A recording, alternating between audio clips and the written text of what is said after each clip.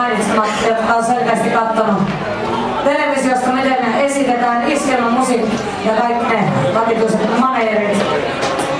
Ja sä olet ensimmäinen, joka erosi sieltä sakista. Ja sulla on oma ääni. Sulla on helvetin hieno soundi.